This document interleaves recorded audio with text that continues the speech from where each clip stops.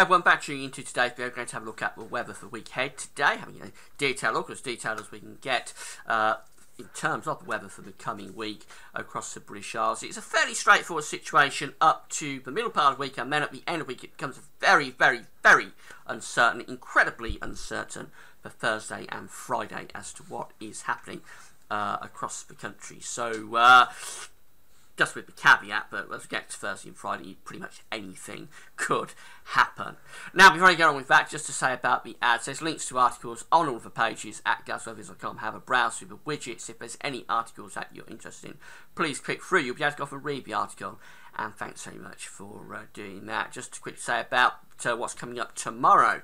We've got the uh, North Atlantic Oscillation uh, forecast for the winter of 2015-16 uh, tomorrow. So for the coming winter, there is a connection between Atlantic sea surface temperature anomalies and uh, the pattern that occurs in the in May and the pattern that occurs in the uh, coming winter. So we will explain all of that tomorrow. To be a very interesting video. Do come back and check that out uh, tomorrow. The uh, websites we're using for the weekend forecast, so again, back to today's video, I come from weatherapp.com and westset.de. Find both those websites on the links page. So let's just start off with the radar picture first of all, and here we go uh, for today. You can see that we've got showers across many parts of Scotland, longer spells of rain, central southern part of Scotland, there's some quite heavy rain mixed in, and a few showers breaking out further south as well. Not only is it wet up in the north, it's also quite windy as well. We've got low pressure to the north of Scotland. We've got tight packed isobars across Scotland. So this is going to be quite a windy day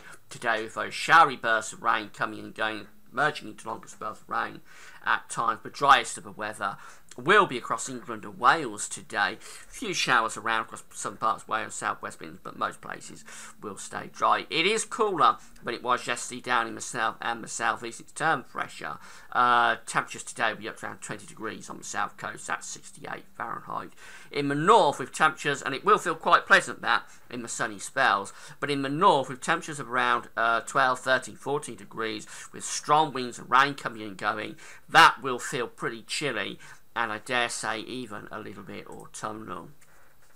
Moving through to tonight, that low pressure will clear away to the north and the east of Scotland, so it'll take the worst of the winds away with it, although it'll still stay quite breezy across Scotland tonight with some showers in the north and the northeast. But the rest of the country will turn dry uh, or stay dry with clear spells. With light winds across England and Wales, it'll get quite cold. Temperatures in rural areas could go down to 5 degrees. That is low enough uh, for a touch of the ground frost or grass frost, perhaps on the lawns, just for a time. It's going to be quite a cold night for the time of year. Very, very short nights now, of course. We're almost at the longest day. So uh, that's unusually chilly, really, 5 degrees for such a short night. As we go through into Sunday, the high pressure is going to be out to the west. We're very close to having a prolonged spell of warm and summery weather because high pressure is intense at 1040 millibars, but it's just centered in the wrong place. So the air coming around that high pressure is coming from a north to northwesterly type direction. The winds will be light, so uh, that's the uh, plus side. Uh, in any sense, but it's going to feel okay with temperatures reaching 19 or 20 degrees down in the south. But there'll be a fair amount of cloud up in the north, and that will still allow showers to develop. I think they'll be lighter and more scattered than they are today, but expect some showers for parts of Scotland and northern England in particular tomorrow afternoon. Temperatures the same as south could reach around 19 or 20 again, but up in the north we're going to be up to around uh, 15 or 16 at best. On Monday, the high pressure is still out to the west of the country. The airflow coming around is from the north to northeast direction. That could drag cloud and perhaps a few more uh, showers into northern and eastern parts of the country, in particular parts of Lincolnshire, uh, northern England, northeast England, east of Scotland could have some showers there. The driest, brightest of weather will be in the west and the southwest of the country. Temperatures may be a little bit down actually on uh, Monday. So in the south, probably looking at a maximum temperature of around 18 or 19 degrees. In the north, uh, nearer to 14 or 15. And that is below par for most parts of the country for this time of the year. Tuesday finds a high pressure extending in. I think there'll be a lot of dry weather on Tuesday with sunny spells and variable cloud. Could be some showers in the south or southeast, but uh, I think many places will stay dry. Temperatures again somewhere around 19 or 20 degrees at best. Midweek on Wednesday is when the uncertainty starts to creep in.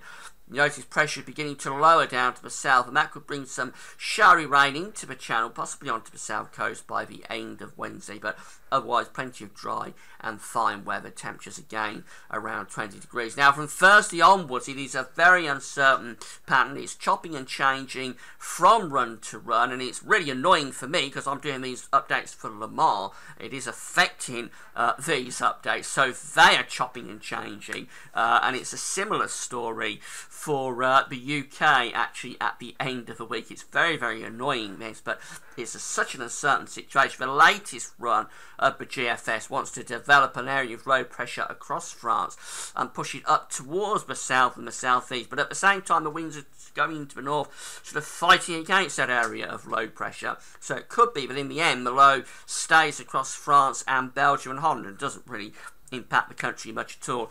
Um, so, with a lot of caveats and uncertainty thrown in, I think southern and southeast parts of the country are likely to have outbreaks of rain on Thursday at some point through Thursday or Friday. Anyway, it's difficult to pin down which day it will be, but some sort of rain in the south and southeast, which could be heavy and thundery, but driest weather in the north and the northwest, and uh, that probably extends down across the country through Friday as that low pressure clears off uh, to the east. But keep in mind, there's a very good chance that low pressure will stay across France, never get up into the country, and will stay dry through Thursday and Friday uh, as well. And then as we go through to next weekend, very much in the realm of speculation, but perhaps bringing low pressure in off the Atlantic, turning more widely unsettled. I don't want to say any more about the situation on Thursday and Friday because, frankly, I don't think the models have got this at all pinned down at this stage. So uh, let's leave it alone.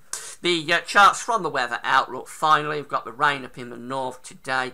Elsewhere, going to be quite a lot of dry weather, particularly across England and Wales.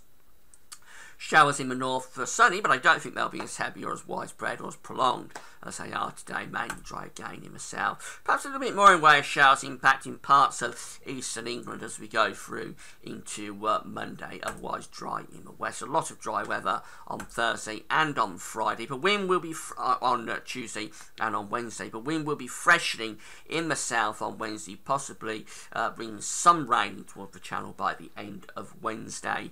Um, and as we go through into the end of next week, there's the uncertainty, but this is reflecting what we're seeing from the GFS with the rain there across England and Wales, but I don't think that is necessarily how things are playing are playing out at the end of the week.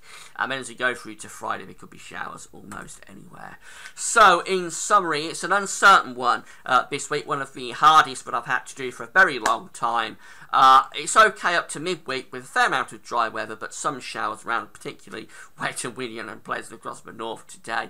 And then we get through to Thursday and Friday, very uncertain. It could turn really wet with thundery rain in the south and the southeast, or it could stay dry and we keep the rain on the continent. Keep checking back for more because I'll keep you updated. But that's all for now. Thanks for watching.